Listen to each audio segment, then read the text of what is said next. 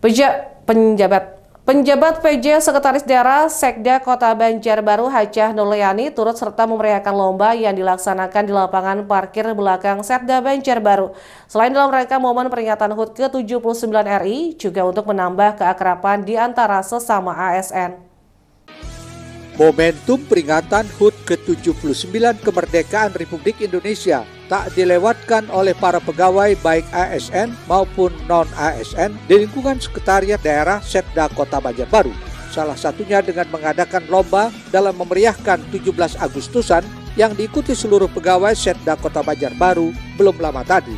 Kegiatan yang diketuai asisten 3 Dr. Rahma Hairita ini guna mempererat kebersamaan antar sesama pegawai Setda Kota Banjarbaru.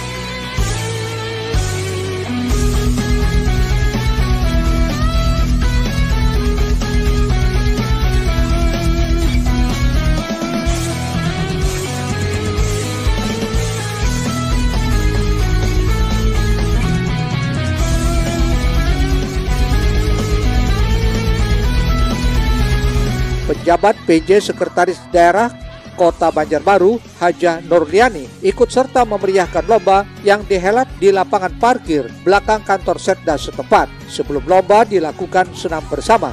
Ditambahkan Bunda Nunung, berbagai lomba yang diikuti oleh seluruh pegawai ini mulai dari balak karung, memecahkan balon, makan kerupuk, lomba bakiak atau terompah panjang. Harapannya momen seperti ini dapat menambah keakraban sesama pegawai di lingkungan Setda Kota Banjarbaru.